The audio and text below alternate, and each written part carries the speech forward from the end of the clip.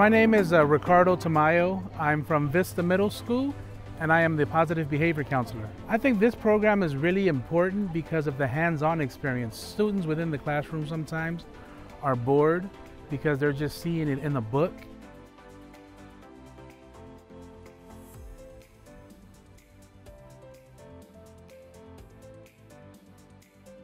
And even when teachers try to recreate this outdoor science experience in the classroom, it's really difficult. But the fact they're actually here within that environment, learning about it,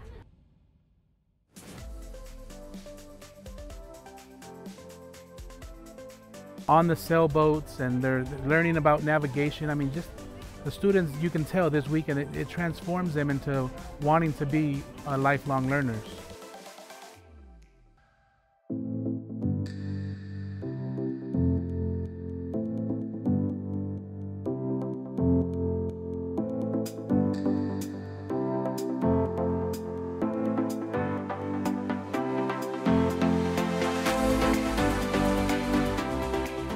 Consistently over the years, I've seen students when they get here. I mean, initially they're, uh, you know, they are a little homesick the first day, but then you know, the moment they, you know, drive here, they get here and they're excited to be here, and they start to see that um, the people here are extremely friendly and they're extremely knowledgeable, and they're going to teach them even things as responsibility, helping out during, uh, you know, muster as far as uh, setting up and cleaning up. And I've uh, had a chance to see about six or seven different groups of students within this program and I've always asked the question, would you want to come back next year?